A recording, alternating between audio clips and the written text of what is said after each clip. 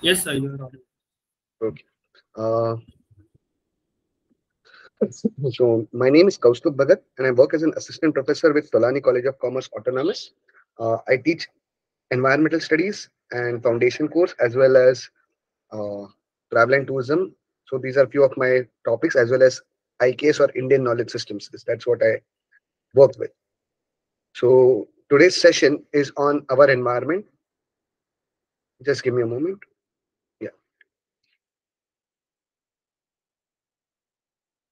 So today's session is on our environment. In this particular session, I'm just sharing the screen with you. Uh, today we had a trail in the morning at uh, Ambivali Biodiversity Park.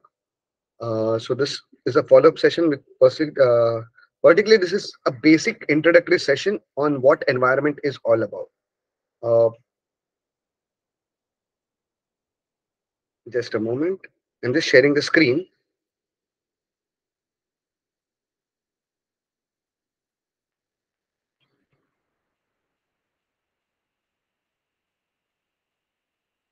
Just a moment.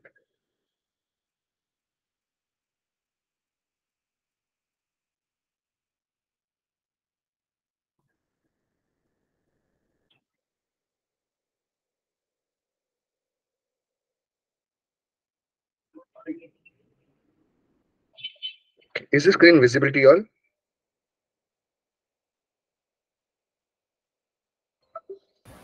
Yes, sir. Yes, sir. Yes, sir. Okay.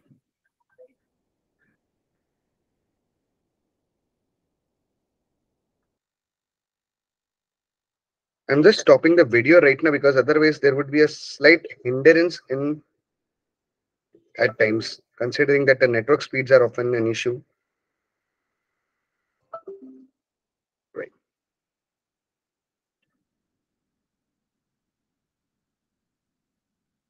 So is the screen visible now? Yes, sir. Okay. So uh, just a basic question. I think everybody can, anybody can, uh, you know, feel free to ask questions in between. That is absolutely okay if you at all you want to, or we can have a session at later. But uh, this, I would like to this session to be interactive. So if there are any questions that I ask, feel free to unmute yourself and answer, right?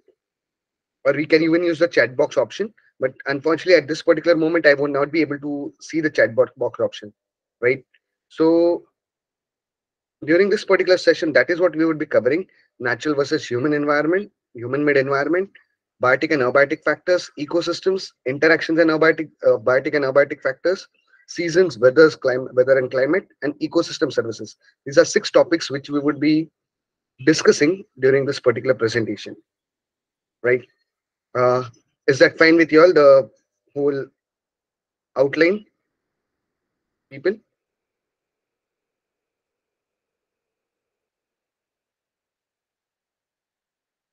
All right. So brings me to the question, what is environment? Anybody? Uh, people, am I audible?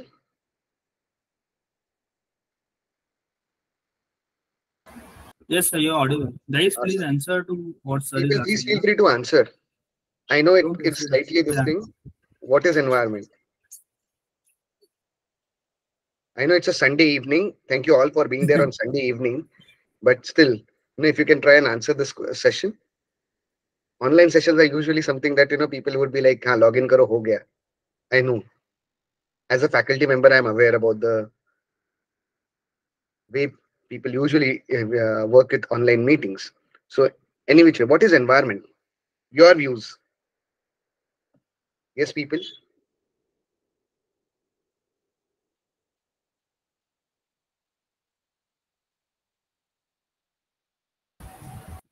Guys, you can just unmute yourself and answer the question whatever you feel like. Uh, basically, our surroundings, the biotic and abiotic factors. Oh, cool. The living and non-living, basically. Living and non-living. So everything in your surroundings, right? So this uh, word environment, it, it's a what do you call? Ghisi purani kaise It is derived from the French word environ. Now, how many alphabets in this word? The word environ basically in french means sur- surroundings quick question how many alphabets in this word? Seven. Seven. Which is the central alphabet? I. So everything that surrounds me is my environment. As simple as that. If we just look at what the word environment is, this is one of the easiest way of remembering whoever that person is. No, you might not be from uh, a science background or whatever. Right? The basic environment is basic, what I feel.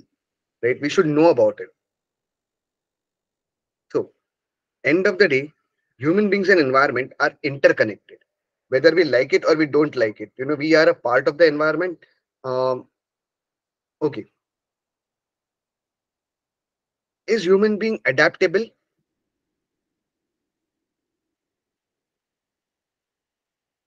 yes people human being as a species are they adaptable Yeah, we are. uh, in the sense how Mm. Like we do inventions in technology. For example, uh, combating to the rising temperature and all, we are just uh, combat that we are placing ACs all over in our houses so that we can acclimatize. okay Uh, We alter our surrounding instead of like animals or they make use of their surroundings to adapt to something.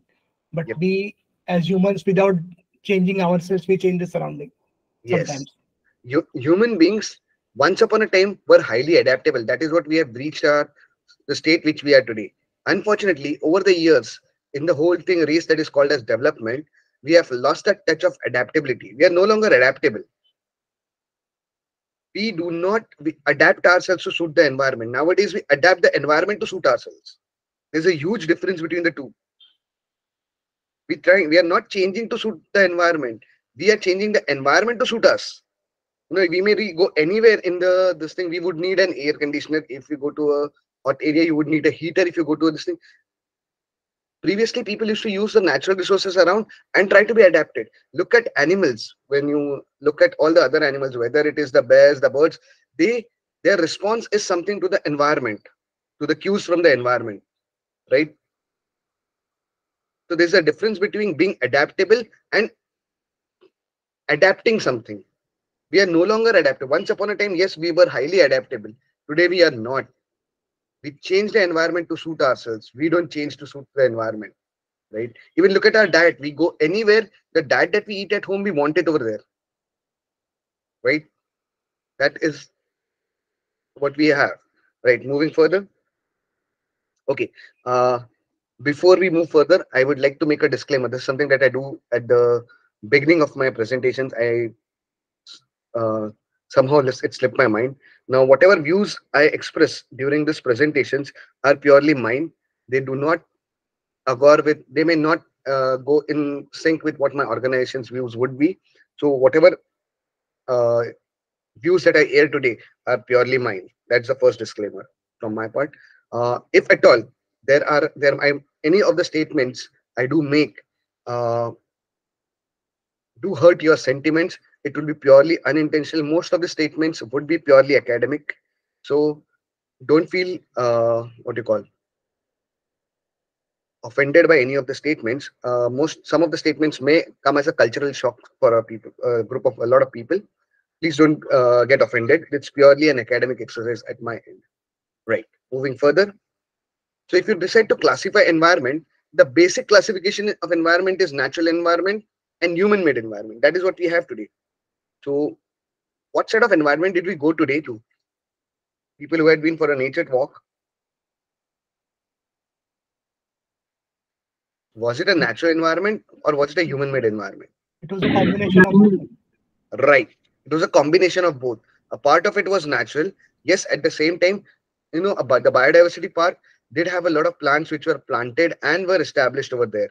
Nothing wrong in that. Let me be clear about this. So, human en- environment and man-made environment, uh, sorry, natural environment is also referred to as physical.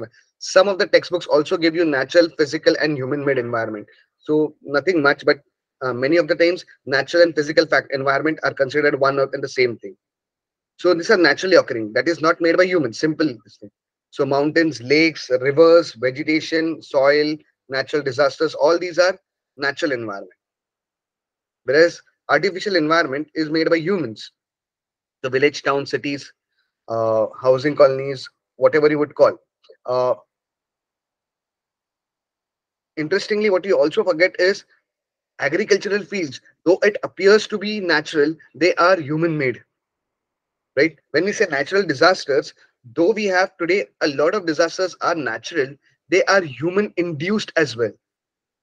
So nowadays the classification is blurring over the years. Right? Uh, are we okay with what we have discussed so far? I think this is just the basic. Probably most of you have gone through this thing since you were kids. Right? Uh, at least can somebody give me a reaction on the screen with a thumbs up or whatever it is? That's absolutely fine. If you don't want to wish to unmute. Yes, sir. So if you look at the components of environment, again, the basic components remain the same, biotic and abiotic, simple as that, which are the living things, animals, plants, microbes, and non-living things, temperature, pH, humidity, salinity. All these are some of the non-living factors. Sunlight, soil, living or non-living.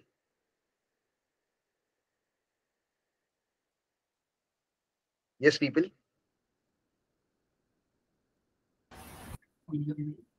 soil will be living, right? That's the fun part with the soil. It is, it contains rocks and minerals and also contains living and decaying material. So it becomes both abiotic and biotic together.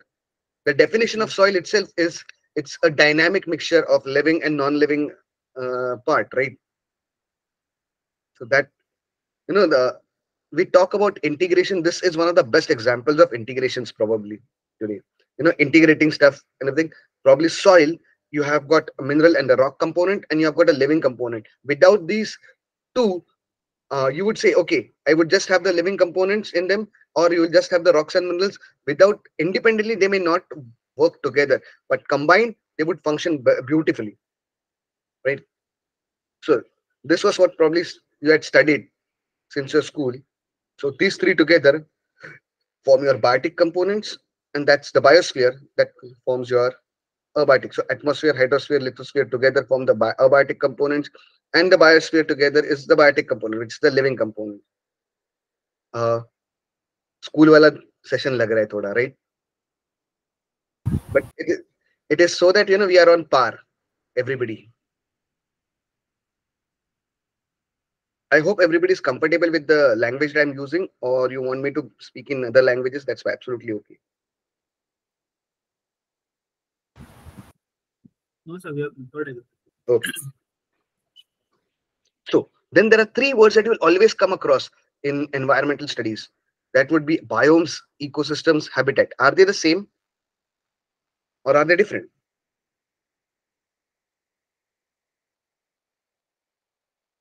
Yes, people.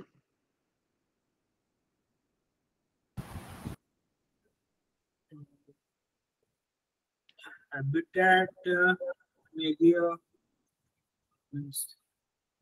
they look like similar only. Like uh, bird may have a particular habitat, but uh, uh, fishes may require a particular ecosystem. Okay.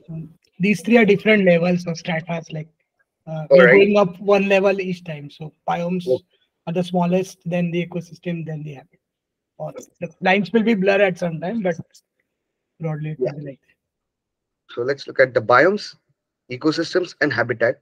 Uh, though people often interchangeably use them, मतलब habitat को ecosystem बोलेंगे, ecosystem को uh, biomes बोलेंगे, biomes को ecosystem, and whole lot of things. They are three distinct standalone things, right? We, uh, though it may appear that the lines are blurring, but if you know what they exactly stand for, it becomes easier to understand. Biome is supposed to be a large region of the world with similar plants and animals and other organisms that have adapted to the terrain or the weather. Like you would say a desert biome, right? So it's more or less the temperature conditions, the terrain and everything. It is similar, right? So what's a desert? Desert is a habit. No, what do you mean by word desert? With a single S. Acha. Desert is uh, anything uh, means It's lack of hot water. desert. Uh, No, but when- hot desert is also there and cold desert is also there. It's lack of Yes, water. Lack of basically. water. Acha. So basically, okay, let's look at the next part. Um, in ecosystem, there's an interaction of plants and animals with the abiotic factors with one co- uh, another, and this constitutes an ecosystem. Sir, इसमें भी यही हो रहा है. Desert biome में भी ये वही हो रहा है ना? Sahara desert or Thar desert would become an ecosystem. Biome desert है क्योंकि conditions similar है. Right?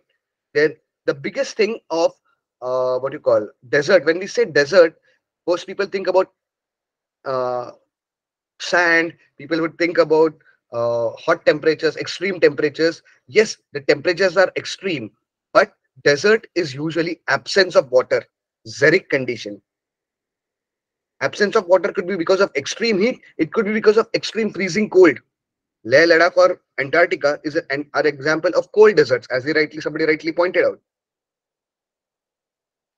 Right.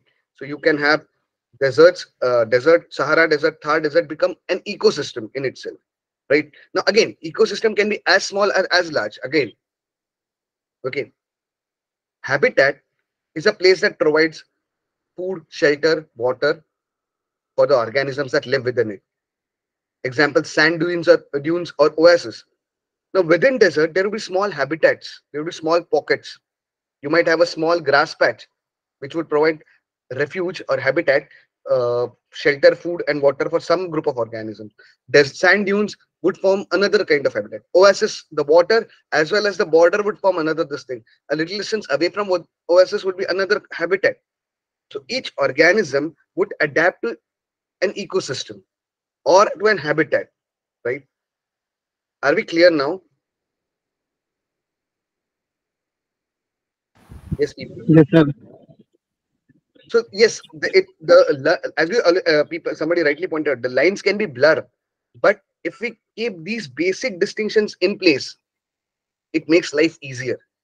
That is what I've understood over the years. See, in desert bi- biome you have the same kind of thing sahara desert the habitat is totally uh, you know it has the same kind of extreme weather uh, the it's hot in the mornings uh, or rather in the afternoons during during the day and night time it's almost kind of freezing. That's one extreme uh, are there. The, there's the lack of water. You have the sand. Same is true with uh, true for thar desert as well. But look at the animal species and other things they are totally different. They may be different right? You would have different species out there. Interactions coming into the interactions may be like slightly different. Then you have the habitat become coming into picture which is about you know the same place that same ecosystem thar desert may have multiple of these habitats. Right? So when we talk about forest ecosystem you may have look at any tiger reserve. Forest ecosystem but you would have uh, open land. Like we had been today we saw certain plants which are open certain plants had slopes. Certain plants uh, parts had plantation certain parts were natural forest. Each organisms each thing would adapt and would uh, uh, rather what they would get from it whether it is food water or shelter. That is what makes it a habitat right? So if you look at the types of ecosystem this is very basic that we have done. Ecosystems you have terrestrial or land based so it, it can be natural like sand dunes or artificial like agricultural field. Ecosystem in itself. Aquatic here you may have natural marine where it could be coral reefs or freshwater like rivers. Artificial again could have marine. Any example of marine artificial uh, ecosystems?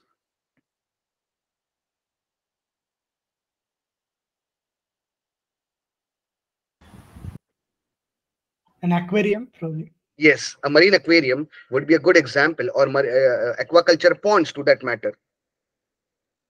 Where you have those uh, prawn farming or anything. And these are artificial habitats which are cre- created or you could have fresh water, like an aquarium the freshwater aquarium. Right? Of course we do have marine aquariums as well. Right. probably most of you for this is a basic part that we have been talking about. But this is so that everybody you know these are the basic things we need to know as a naturalist.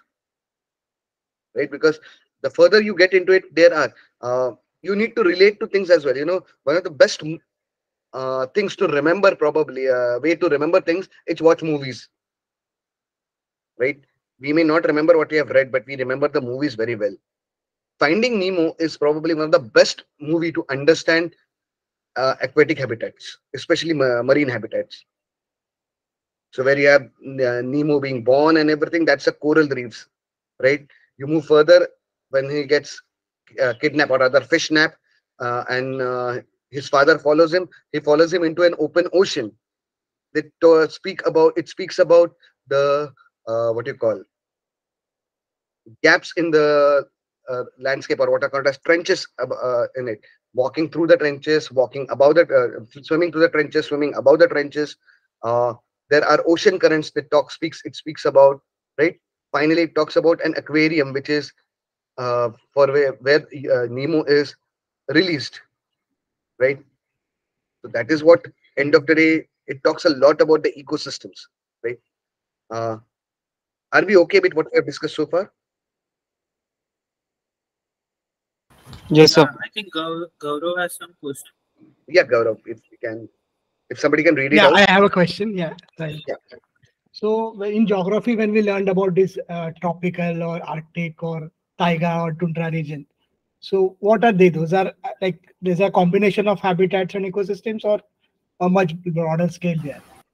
So geographically when we look at different latitudes or altitudes.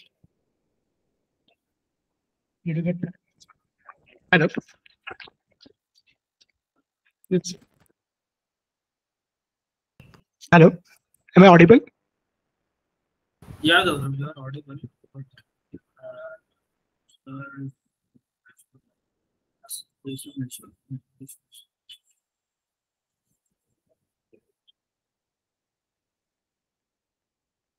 um, yes I'm- Yeah, I'm, I'm sorry. I'm sorry. I think I lost my network connection. Really sorry. Just give me a moment.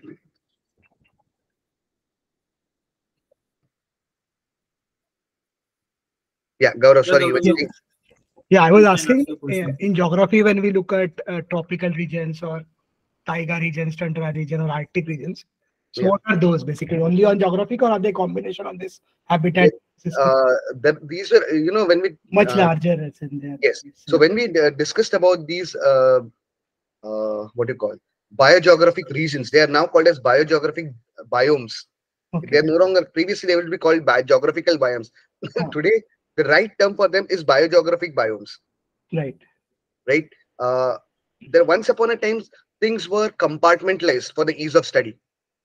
You would have studied bio. Uh, I, I discussed this in the morning, where you know we had zoology, botany, or uh, whatever you know su- uh, subjects. We had physical sciences, uh, physics, chemistry, physical chem, physics, chemistry, biology. Then again, within that there was a lot of uh, this thing. This was for the ease of understanding and so that people can study further.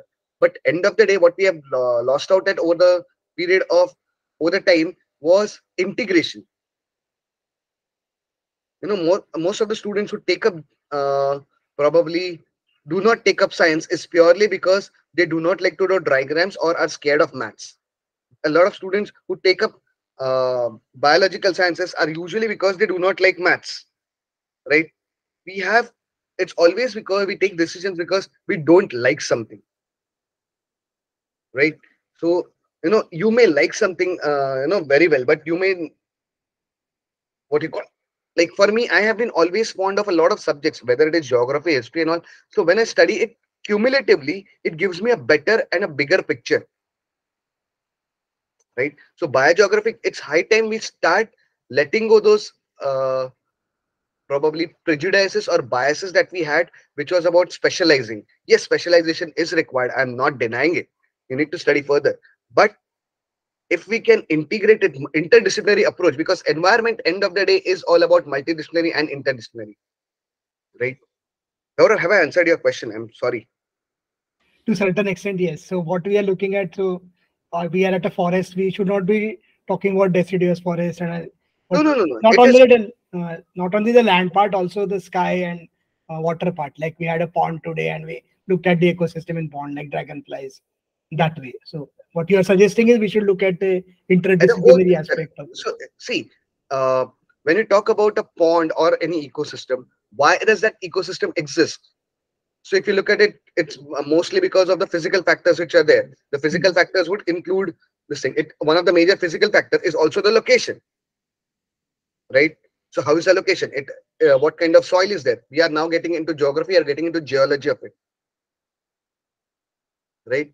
There is another uh, part that is precipitation. Now precipitation is influence or precipitation is the rain or snow or whatever is there. What kind of precipitation you get? Uh, for a place like Mumbai, you get it from rains. You get it from dewdrops, right? Uh, but if you go up north, it would be probably your uh, snowfall, right? So each ecosystem, certain uh, factors would come into play, biomes or whatever it, it may, and that is what makes them distinct, right? Have I cleared Yes. that particular question? Yeah, thank you. We'll move on. So, uh, when it comes to ecosystems, there are certain things called as structure of ecosystem and function of ecosystem, right? So there are levels of organization. So you got producers, which are the basis of life, according to me. Consumers, who are herbivores, so they produce their own food. Again, uh, when we talk about producers, we mostly think about plants. Uh, they prepare their food through photosynthesis. That's one part. They have photosynthesis, they are uh, photoautotrophs. You also have got chemoautotrophs, certain bacteria, which can produce their own food, but they use chemical energy out there, right? So you have got photoautotrophs, producers, or chemoautotrophs. You also have got consumers, herbivores. Uh, people consume, assume them to be peaceful consumers. Uh, end of the day, they are predators in their own right because they predate upon the plants, right? Producers to that matter. You have the carnivores. Uh, they are the herbivore properly uh, property co- population controller. और you have the omnivores who are the opportunistic feeder अच्छा ये नहीं मिला वो खाएंगे वो नहीं मिला ये खाएंगे kind of thing that is how it works and you have the scavengers which are the nature's municipality or municipal corporation or whatever cleaners so each this thing has a role to play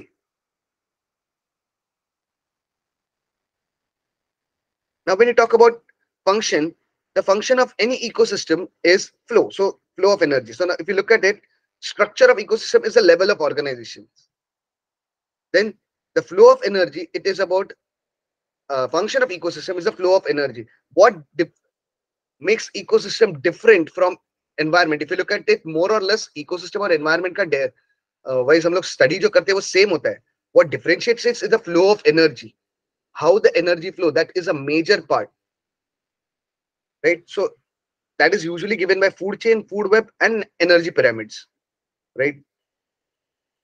This is basic biology at work. And you have the biogeochemical cycles. Now this is the interesting part of biogeochemical cycles. When we speak about biogeochemical cycles uh, previously they were called as chemical cycle geological cycles. Then they said oh it is not just geology they we also have got chemistry involved. So they called started calling it geochemical cycles. Then they realized oh living organisms are very much an important part of the systems. So they've started calling it biogeochemical cycle see as people studied science is dynamic. It keeps on evolving. Right? The more evidence that comes across more you try to understand it it becomes better. So the uh, definition to, uh, today they are no longer called nutrient cycle they are no they were used to be called nutrient cycle. Then they were called as chemical cycles bio geochemical cycles. Today they are called as biogeochemical cycles. So definitions change. So food chain is nothing but the one that you have. So you could have this kind of food chain. Grass rabbit fox or grass insect frog snake or any of the bird of prey. So this is a very common food chain that i have taken up from one of the internet sites so let's face it you cannot have just one single food chain functioning at one time. You would have an integrated network of food chains. Right? So you could have sun which is the basis of all food chains.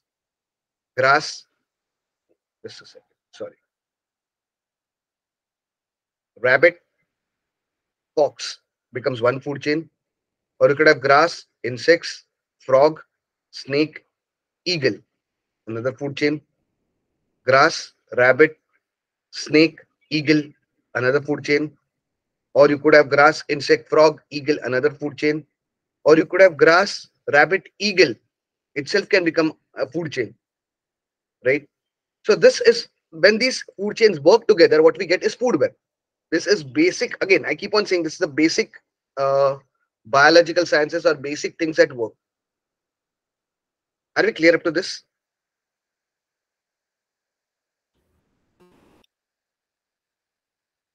So when you have Yes. ecological when you have ecological pyramids, this is something that balances environment. Now, this is an what the pyramid that we'll be discussing are ideal pyra- pyramids, ideal period uh, conditions. You know, you would have the producers, herbivores, carnivores, and the top carnivores. That is what would form a pyramid, and the numbers would always decrease. That's why it's called a pyramid of numbers. It may not always be the same. In certain ecosystems, you may have more herbivores as compared to producers as well, number wise certain times you may have more carnivores that can change but to balance a pyramid it has to be always in this format but uh, with the energy flow and lot of because see it is not just one part. We don't just think about the lion the zebra and the uh, sorry the zebra and the lion or the zebra uh, the buffalo and the lion. That's not the only part that we have to think about. You have to consider even the top predators in the form of dragonflies as well right so these can always change, right? The number wise. Then we have pyramid of energy, right? At every level, the energy is lost. So if it starts off with 10,000 calories, probably for the producers, a certain amount of energy the plants would utilize for their own growth. They would certain part of it for their flowering and everything, certain activities, right? So the energy that is available for the next thing is less. So 1000 calories is probably, let's assume 10% loss of energy, 10% uh, is available for the next level.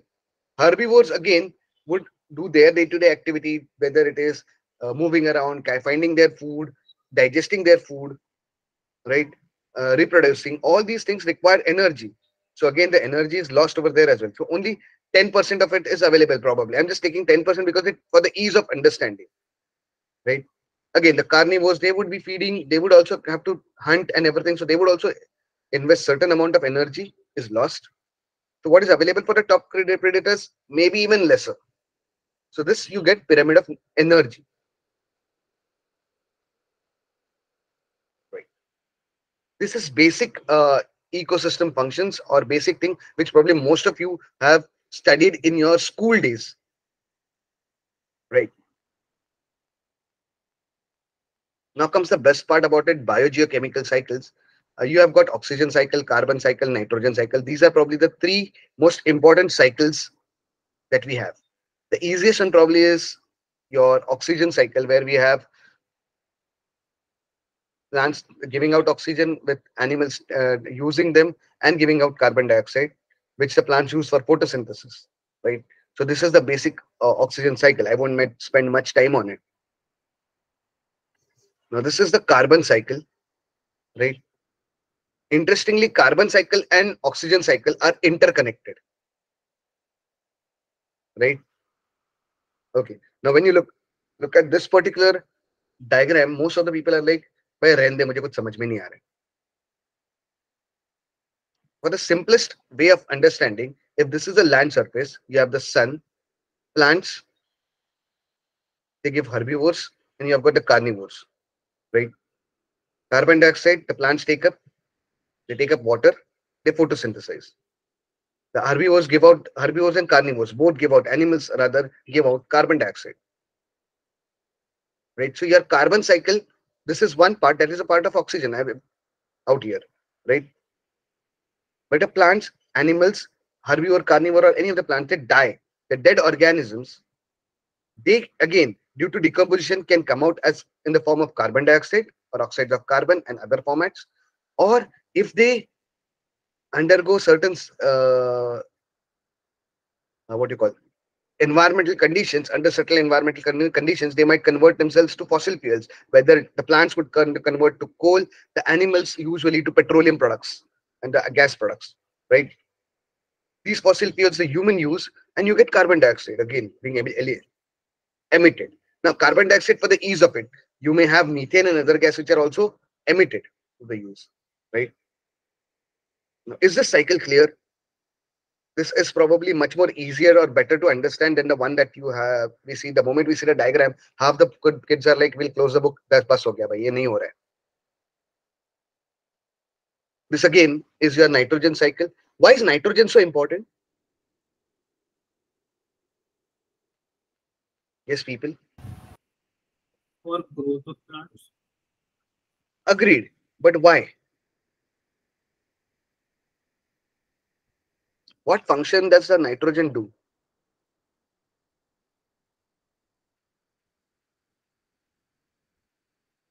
What you know, 75% of Earth's atmosphere is nitrogen. Yes or no? Mm-hmm. So what's the use of nitrogen for us? But we breathe in carbon dioxide, we are oxygen and we give out carbon dioxide. Plants require carbon dioxide for photosynthesis. What's the role of nitrogen? Uh, being the most abundant element, it parts forms part of the nutrients and everything that we consume. How would it form a part of an important? What kind? Nitrates or I mean, they are also part of our excretory system, let's say. Okay. But that has to enter our body through something. So Yeah. So again, what function does it uh, have in our body? Because the body is excreting nitrates and nitrites, Hmm. right? In what form does the, the do we use nitrogen? This is where your biochemistry kicks in. Proteins. Ah, proteins. Proteins are made up of tiny this thing called amino acids. Amino acids. Yes, amino acids, amino acids. Uh, the basic component for amino acids is nitrogen. Without nitrogen, you can't have amino acids. So if you need amino acids and proteins are called as bla- building blocks of body. No nitrogen, no amino acids, no amino acids, no pro- protein, no building blocks of body. Simple as that. See again, the- as I said, integration is very important here. ये cycle हम लोग study करते हैं क्यों study करते हैं भाई school में सब क्यों क्योंकि सिलेबस में दिया है हम लोग को पढ़ना है what role it plays in ecosystem this if we try to understand it makes our life easier. As a naturalist as a nature interpreter that is what your job is. To simplify to tell people what exactly it is. So again the same land nitrogen in the air has to be converted to nitrites and nitrates. The plants can use it cannot use nitrogen. It has to be converted in that form. So here again it has to be fixed so it's usually done by microorganisms or it is done by lightning. Miller's experiment remember? Where he introduced electric current. So in nature the electric current comes through lightning.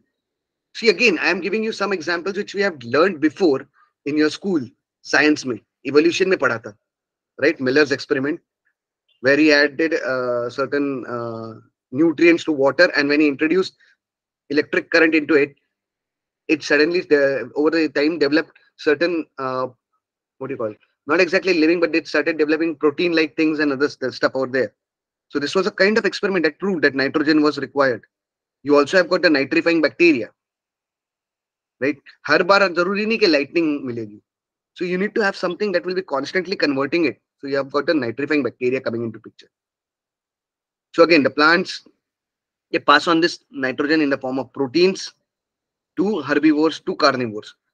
They die through their droppings again. We excrete nitrates and nitrites right?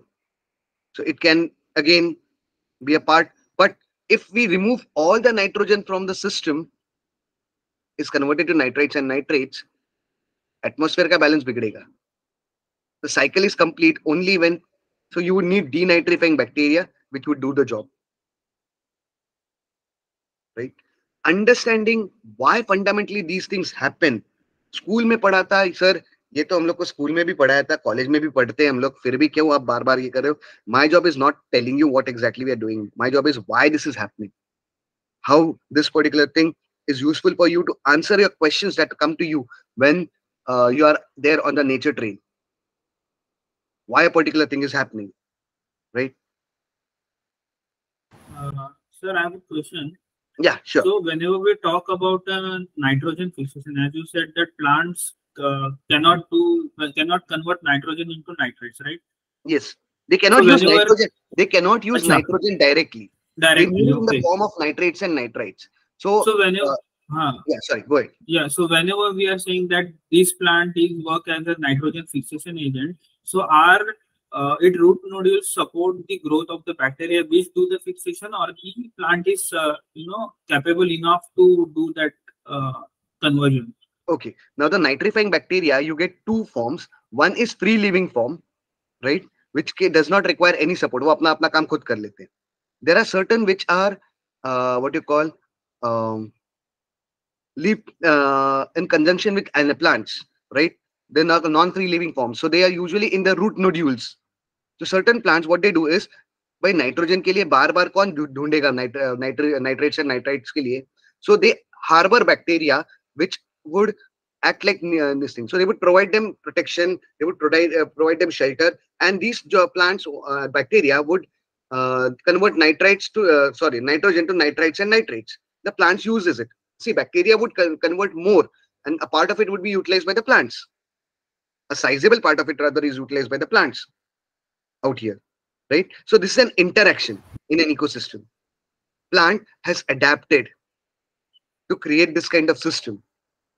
बार बार आपको nitrogen fixing bacteria अगर free flowing है free living है नहीं जाता है तुम्हारे साथ जाओ जो करना है कर लो someone who is dependent will help you out you know forming these kind of networks or interrelationship is what ecosystem is all about have i answered your query So, so that means that plant has, does not have the capacity to convert nitrogen. No, It- no, it is no, no. totally dependent on that bacteria, right? yeah I have to say. but what it does it it does provide those shelter that's why those uh, what we call nitrogen fixing plants we call them they are, they are not nitrogen fixing plants per se they have bacteria that can fix nitrogen but it would produce in large numbers so a plant can also use it in certain amount it can use excess so excess remains in the soil that the other plants can use Okay. So we have ever means uh, I do remember that when I was in college, we have learned about the names of these nitrifying bacteria. Yeah. So which one are these denitrifying bacteria? We never heard of them before. okay uh, i'm i'm sorry i don't have the list of denitrifying i don't remember them offhand right now but there is a sizable uh, what you call list of denitrifying bacteria they what they do is when they uh, prepare their food they would use nitrates and nitrites in the reaction and that would be converted to their form and the nitrogen is released exact opposite fixation के exact opposite करते हैं वो लोग Okay. okay. So they also live in with some you know mutualistic type of relationship or free. living most of the relationship? denitrifying bacteria are free living if i'm not mistaken but uh, that particular aspect i'm uh, what you call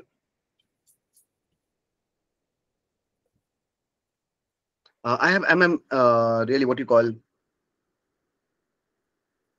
I have not exactly looked into that particular aspect. Uh, you know, so if you uh, as as I said, uh, I, I, just as we are uh, discussing right now, I just googled it for it. Thiobacillus denitrificans karke hai. I just yeah, that is what. Mm-hmm.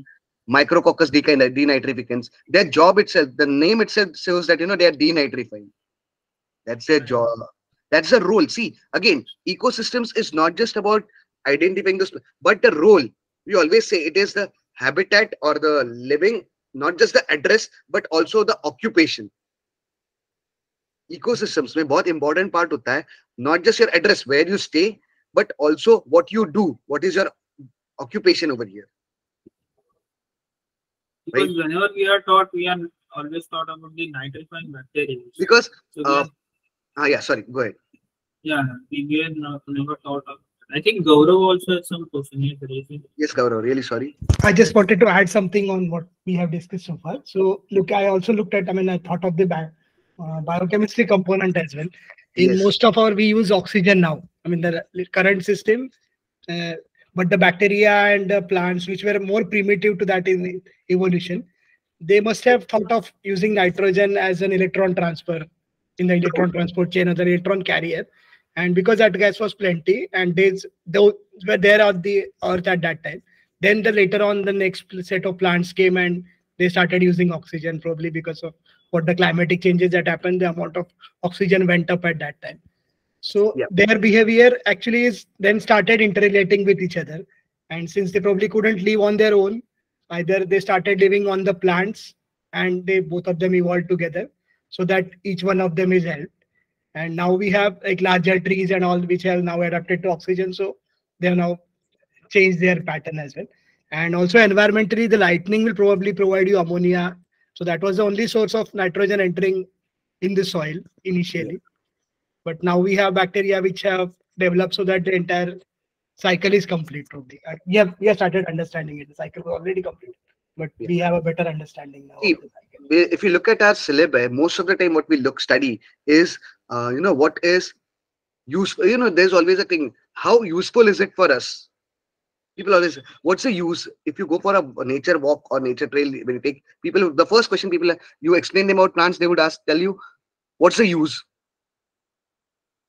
Right. So we will talk about the medicinal use. We can talk about it, but it's all human centric if you look at that particular organism or that particular thing has a role to play in nature. Denitrification probably nitrification is important for us because fixation of nitrogen helps you in grow, growing more crops. That's why there has been more study on nitrification. Denitrification studies are on i'm not denying them and there's a sizable part because they are useful in pollution control. Especially nitrates nitrites when they excess they, they, they are there in excess, you need to remove them. Denitrifying bacteria are deployed sizably now. So this is wherein it comes into picture where we are using, uh, you don't have to depend upon adding chemicals or something. You're using a natural agent to control your pollution, right? Bioremediation is what we call. In that, denitrifying bacteria are playing a major role out here, right? I hope I've answered my the question that you had. Yeah, I don't. from the agricultural point of view, if you think from human perspective, Yes, go on adding nitrogen because we think that the plants need nitrogen. answer The that. concentration of nitrogen will go up and the cycle will disturb.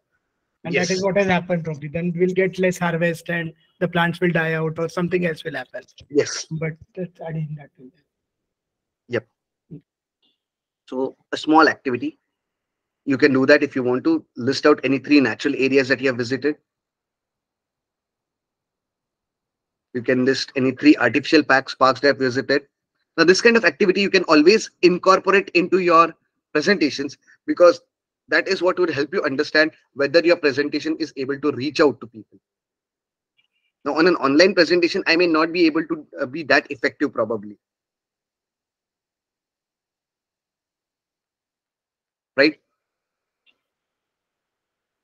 But when we have a offline presentation, kind of thing, when people actually do that particular exercise, they're like, okay, fine. And also gives you a bit of break for people wherein, you know, यार बार बार सुन के पक गया है nobody likes to hear a lot थोड़ा हम लोग का भी involvement होने दो right okay shall we move forward further Yes. if we look at the interactions between biotic and abiotic components, water is an essential require for every life form. Or you have air, which has this effect on soil, water, and organisms, both. Soil is living as well as non-living. It's a dynamic mixture, as we said. Or and then we have the energy. Sunlight is a major source in any ecosystem. Of course, when you uh, look at the deep oceanic ecosystems where the sunlight cannot reach, that it has its own mechanism out there right? That's why it is chemocentric more than photocentric. Right? As I said, chemoautotrophs and photoautotrophs, most of the chemoautotrophs are deep sea organisms. Right? Okay. Moving further. So seasons, weather, and climate. Uh, weather and climate are same. Do you all agree?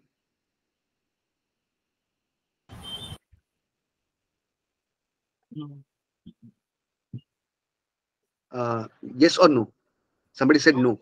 Anybody who say agrees with my statement? Yeah, it's wrong. Weather and climate are not same. Weather is a day-to-day phenomenon. So today's weather, it was sunny, right? And long-term average of atmospheric condition, approximately 30 years, minimum 30 years is what is considered to be determined as weather, right? Change in light temperature and weather patterns throughout the uh, it changes right throughout the year these would change right? So the basic difference is day to day phenomena and a long term atmospheric condition. That is what differentiates uh, climate and weather. Right? Now uh, weather patterns change throughout the year. Right? Right now we are supposed to have a winter season. Of course mumbai doesn't have a winter per se but yes.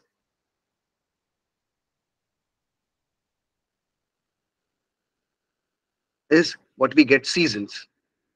See, uh, in winters the days are shorter, whereas the night is longer. During the summers, you have the longer uh, days, shorter uh, nights. The temperature changes, right? All these uh, things make it into a season, right? So, are we clear about weather, season, and climate?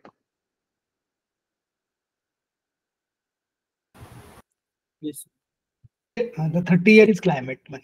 Uh, minimum 30 years okay. is what they say Over the years, if you look at uh, this thing, if you can, it can be even beyond that. Uh, okay. Of course. Uh, see, today we when we talk about climate change, yes, the climate is changing. I am not denying that at all. Right? So 30 years पहले जैसा climate था वैसे आज है नहीं है. Me as a uh, person i know what uh, the weather was when i was a kid and what it is today the climatic conditions have changed i remember for me 15th of june meant going to the school or 13th or 15th of 13th to 15th of june was when our school would reopen and we would all be standing in a line wearing a raincoat or holding an umbrella waiting for a bus. Today 15 june ko barish nahi hota hai bahut rarely hota hai it is usually in the late june. Right? So maybe the things have changed. I am not saying it's just it could be just one or few few erratic change uh, weather phenomena. We don't know.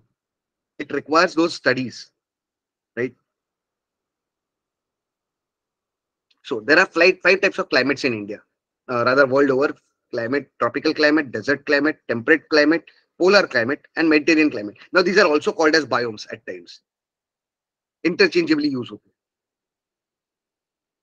to be very honest, these are the broad this thing. There are the climatic types that we have in India. There are around what 17 or 18 different climatic zones in India. Right? So tropical climate, high humidity, high temperature. That's what defines it. So perfect habitat for organisms. Plants compete for sunlight. Camouflaging is there. Right? So when it talks about uh, desert condition, it's absence of water, hot desert or cold desert. We have just discussed it some time back. So it will have extreme temperatures and you'll see excellent water conservation adaptation. Now look how the climate is influencing organisms.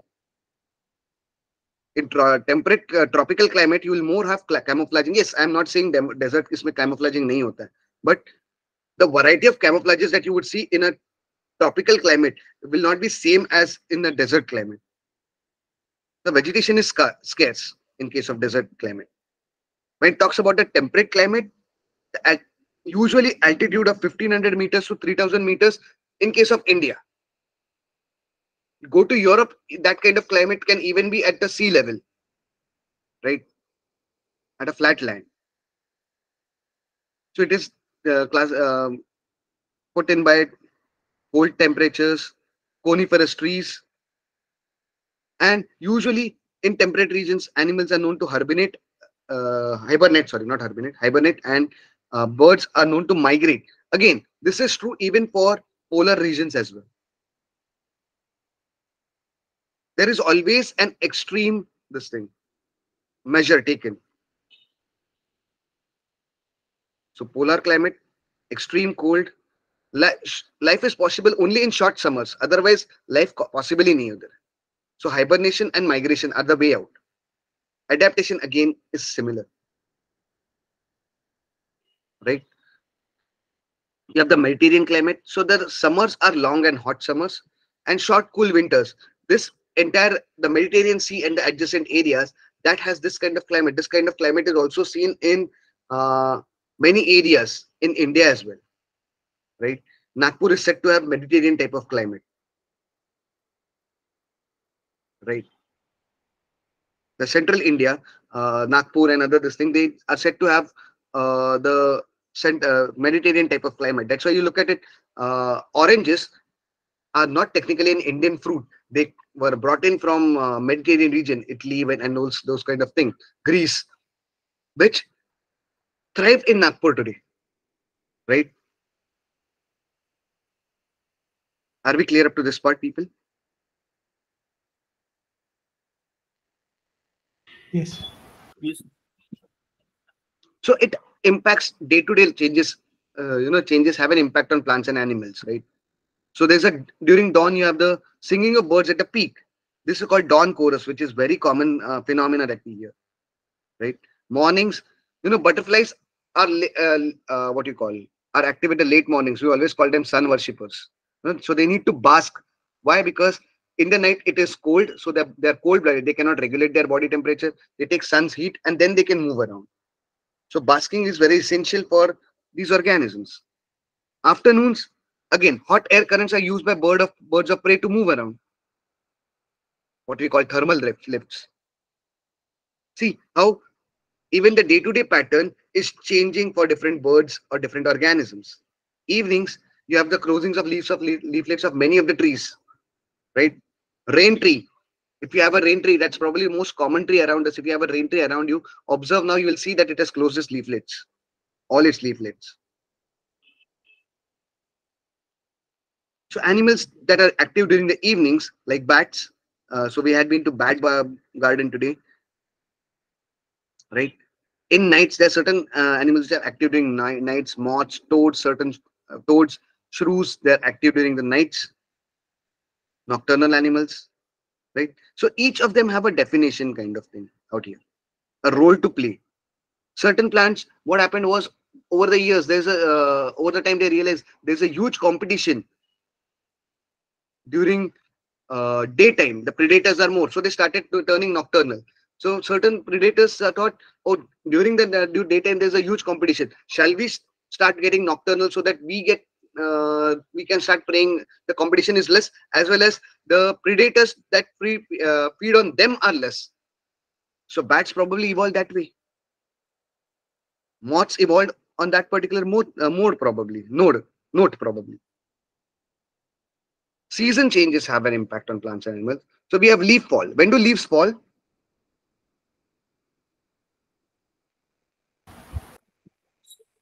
Autumn.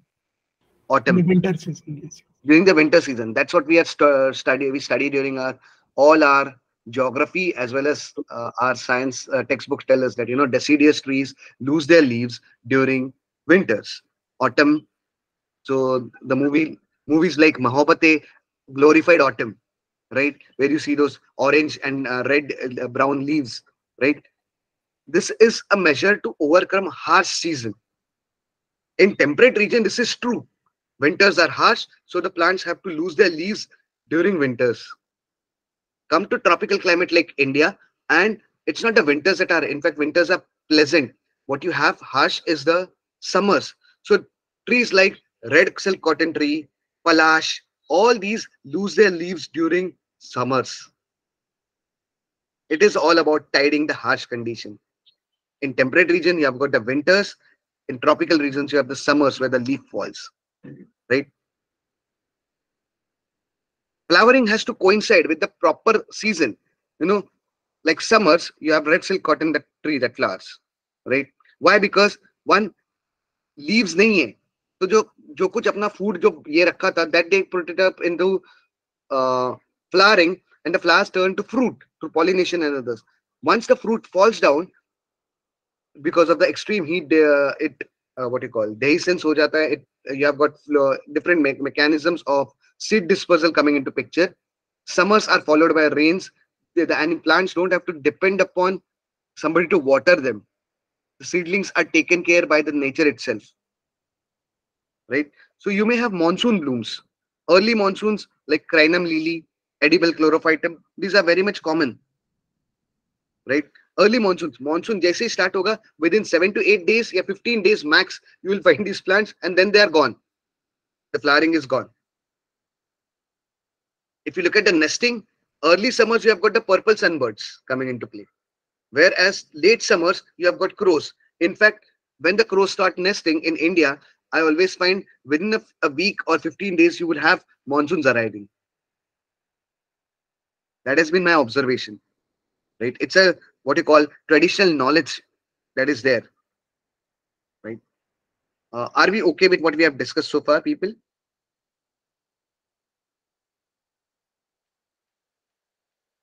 Yes, people. Yes, sir. Okay, so maybe a five minutes uh, more is what I would take, and we'll conclude because I think we started a bit late. Okay. The migrations is what we have uh, uh, are there. It's again, it's a uh, season induced thing. So summers, you have Indian that migrate. It's a summer migrant. You would find them migrating during the summers. In uh, Mumbai, you find them during summers. They are migrating. They are passage migrants in Mumbai or in monsoon you've got the flamingos flamingos interesting this is an interesting part you know most people most people believe that flamingos migrate in winters yes they do migrate in winters to mumbai but most of the time important part is they migrate to overcome that harsh summers they uh, the flamingos that come to mumbai most of them are from Rann of Kutch. They come from Kutch, right? The summers are harsh over there but the monsoons are much more pleasant. So the flamingos in uh, Mumbai, they would, or uh, which are there in other parts, southern, they, which migrate southwards, they would fly back, flock back again to Rann of Kutch or Sambhar Lake in Rajasthan. Uh, there's also a population that comes in from Iran. Back there because the monsoons, along with the monsoon winds, they breed during monsoons.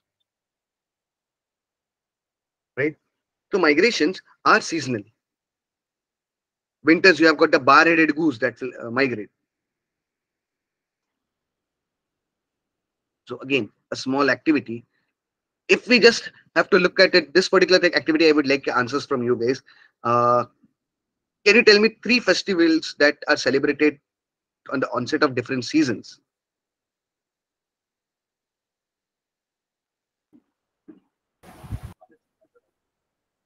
Holi just before the summer starts. Yes, right. Holi is just before the summer starts. Any other?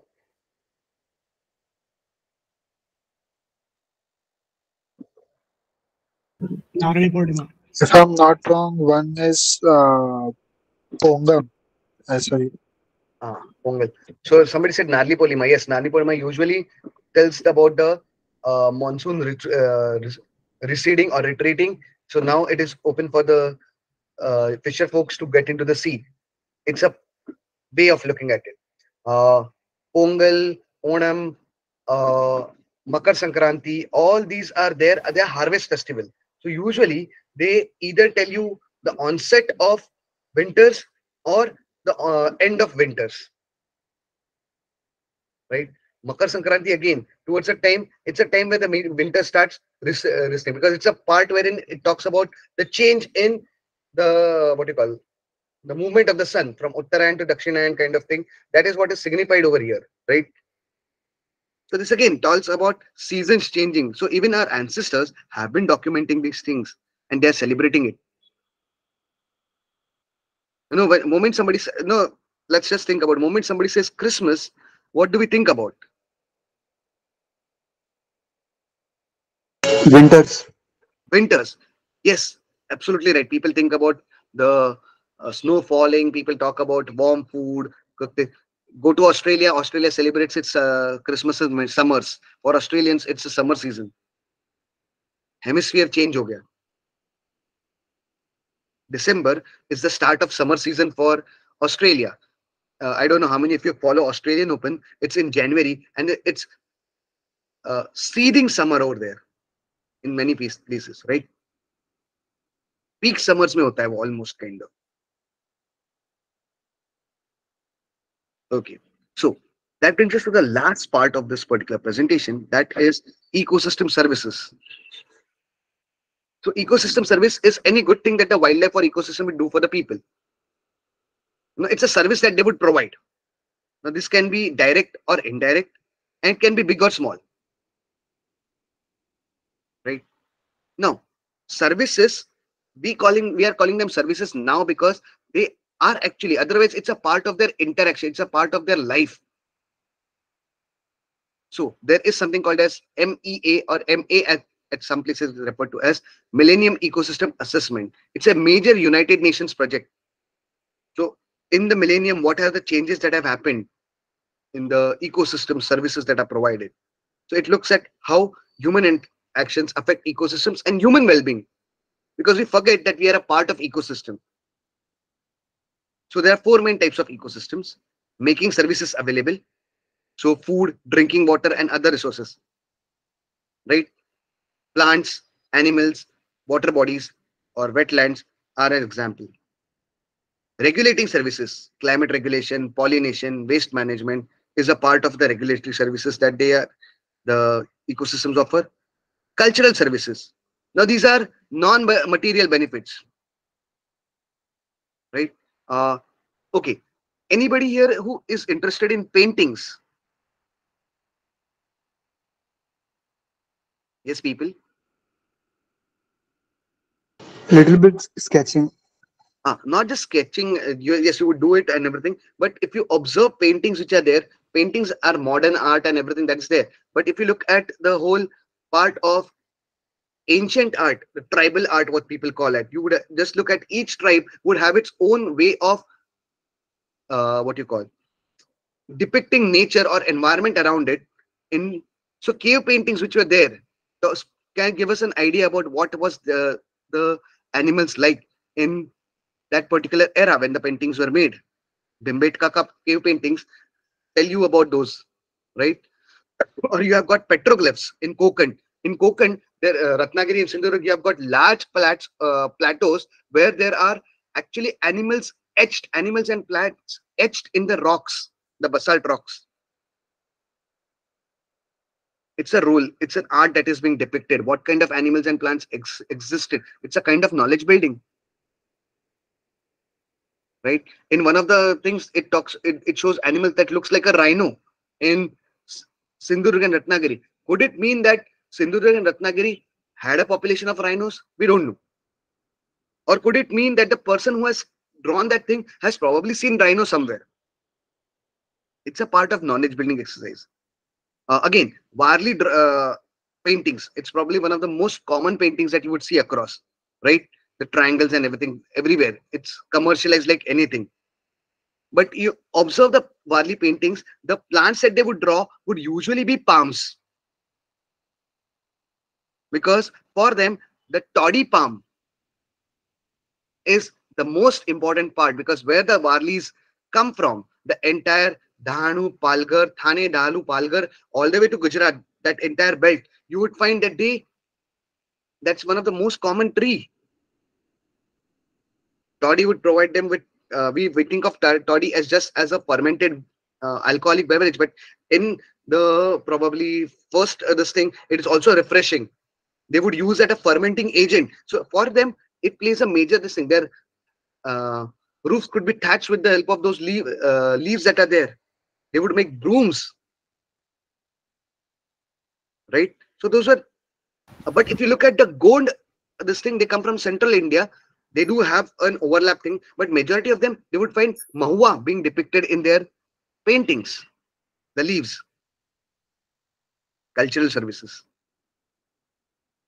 or they could be supportive services, whether it is photosynthesis, nutrient cycling, soil creation. This is something which human beings can't do. We unfortunately think ourselves as God, but we cannot do these services. You need someone, you need ecosystems to perform these services, right? Are we clear up to this?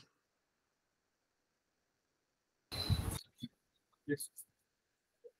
So this is an interesting part, you know, which I had made long time back probably when I was with BNHS, I had made this uh, bill. This is uh, the source is of course Constanza, Robert Constanza, and his team. It's a huge project that happened uh, in 1997. They published it in Nature. It's an amazing paper that is there. If you ever get a, a hold of this paper, read about it. It says that it was 33.3 trillion worth of ecosystem services is provided by ecosystems in 1990s right that was more than all the uh, GDP of the entire world put together. That's almost two times around that time, right? Uh, 2006, they had another study of such kind. Robert Constanza and his team. They found the value has increased. Why? Because the services service providers have decreased. So the pre pressure is more. Demand and supply, economics at work.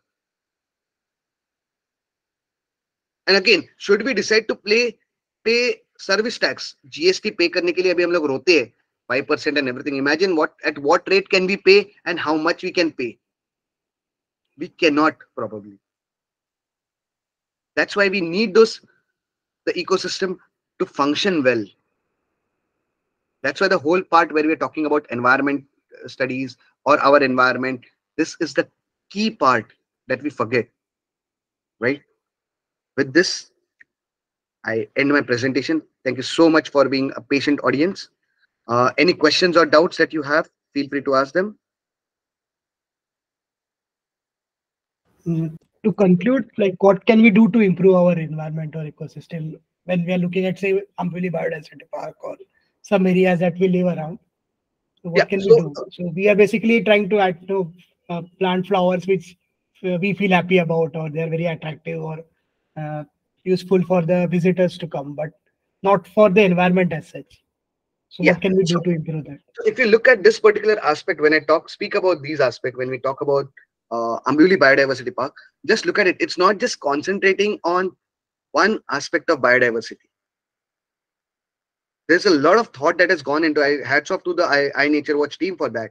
What they have done, they have taken into consideration bats. They have taken into consideration butterflies. They have taken into consideration bug hotel kind of thing that they have created.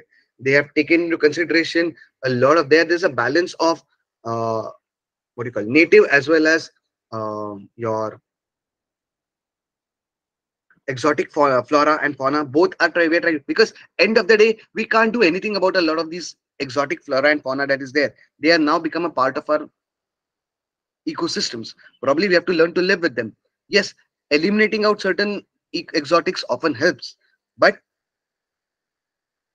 we have to again take into consideration the costs that it would be, uh, it would cost right?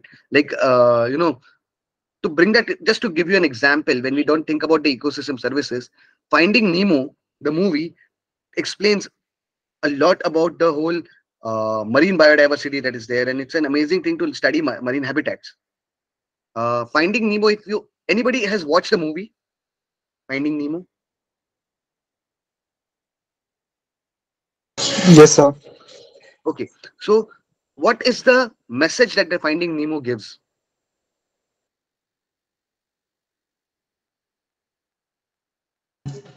As I remember, last one the uh, like the there's new one finding uh, something a new fish like second season. उसमें Okay. रहता है there's they finding nemo there's finding dory okay तो मुझे नीमू का नहीं याद है डोरी का याद है so she finds uh, her way by small, small things like stones and uh, plants. So okay. it's their home. Most importantly, if you look at Finding Nemo, the underlying message is we should say no to pet trade.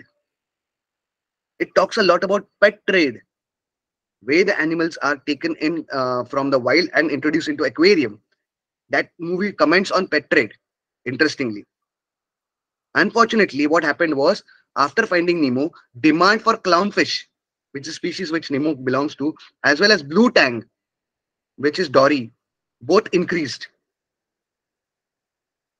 This is where we fail in our ecosystem services, understanding what exactly are we looking for. With clownfish, it is still more easier because they're easy to breed in captivity. Blue tang cannot be. So they have to be get brought in from wild.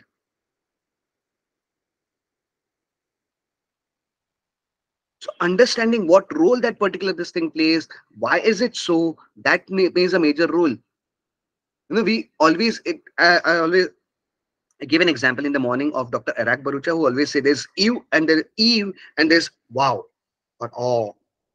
That if you can uh, channelize with the spe- students, it can. But for us, what we can do, well, the best thing is probably not intervene at all. with environment. Uh, people always say, sir, वो blank habitat है ऐसे ही पड़ा है क्या हमको उसको क्या कर सकते हैं वैसे ही रहने दो कुछ मत करो nature will take its own course but of course we have reached a level where we cannot say allow the nature it's alone to take it needs our helping hand as well so things like biodiversity park having small refuges around you are going to help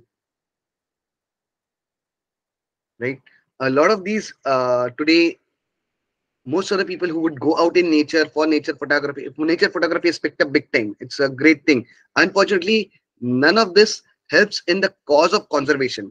There is very few cases that help in the cause of conservation. Otherwise it is all about what you post on the social media. We need to understand why we are doing certain things and what is the outcome. Yes i hope i've answered the question gaurav. Ah, yes, sir.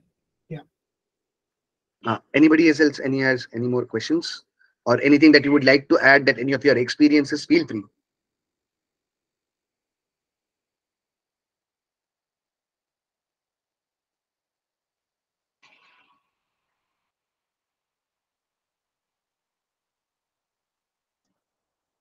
Okay. Uh, any feedback on your side for the presentation? What should have been, what should not have been kind of thing? I understand it was a very basic presentation, but uh, the whole idea of naturalist training has been that people should know at least the basics. Brushing up the basics, developing on your basics is what is required. Right? Yes, sir. At least, sir, because whenever we are in a type of you know nature trail, we we should start from means what I feel that before starting about what look at this bird, look at this tree and everything, we can start with how this evolution process has begun. Means how the soil has been formed, then how the trees came, then how the birds came. Means if we are engaging any sort of students and also that will be very helpful for them to understand the whole concept. You know, so for that thing, these all basic things are needed because just not showing a tree its characters is what is needed in naturalist but about what we have learned before because many of the people know these things that this is a plant this is all but what is this branch about? Why is leaf is like this? Why is venation is like this? Why is uh, margin is called baby dented? So these all things we have हम ने बहुत किया सब किया लेकिन on practical notes we don't know many of these things.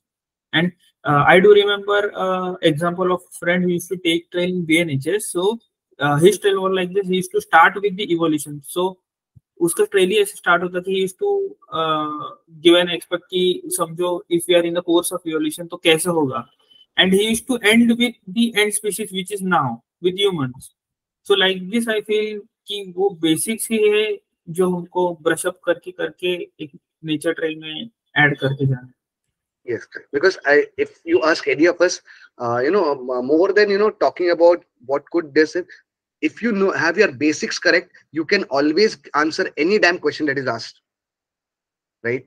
Yes, there will be certain times where you might have this thing, and it, there's no harm in saying that I don't know or I don't remember. We are humans, end of the day. We are not gods. Right? This is one of the biggest problem that we face that people believe that we are gods. We are not as I said before, we are no longer adaptable creature that we were once upon a time. We have started changing the climate or weather. Of course, if you look at climate change, people talk about global warming, climate change. Global warming is very much a natural phenomena, by the way. Uh, we the Earth oscillates between two epochs: warm epoch and cool epoch. Cold epoch. We had a ice age, and gradually we are moving towards warm epoch. The climate is the weather the climate over the years is supposed to get warm right so that is not a problem so natural hai to fir hum log kyun itna chillam chilli kar rahe? It is not that it is getting warm. What the problem is the speed at which it is getting warm. What would have happened in probably a few thousand years or a few uh, this thing is happening in a few years time. Since industrial years uh, uh, revolution it is what? Hardly 200 250 years on a higher side. And the changes that are there are would have probably taken around 10,000, 20,000, 25,000 years. That has happened in that short a period of time. And that is alarming. For us to adapt, for animals to adapt, for plants to adapt. for earth to recover itself that is what makes environment education so much important right uh, so shall we end at this particular note people or would you like anybody would like to add anything thank you gaurav thank you harsh Yes, sir. Thank you so much sir, for all the knowledge and brushing up with all the basics which I have learned before. So it was really nice to get through all this because with due course of time we forget all the back things which are are and which are really very important while you know going with the nature trail and all. Uh, so it was really very helpful to go through all that which we have you studied and yeah. So thank you so much for being taking the trail also in the morning. I was uh, not in that position to attend the trail because uh, today was my working. I really wanted to you know get into the trail, but anyhow it has gone. But this session was very we can have a few more trails not a problem because let's see some way or the other we would have i would try to get uh, Yes. back to the field let's see how it works sure, sir. thank you Thank you so much. thank you everyone Good night. Thank you, sir. good night thank you Thank you.